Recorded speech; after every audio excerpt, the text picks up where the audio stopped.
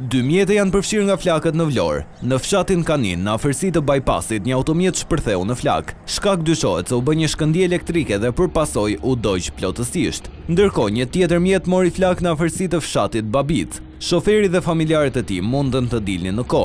Fatmirësisht, në të dyja rastet nuk pati të lënduar.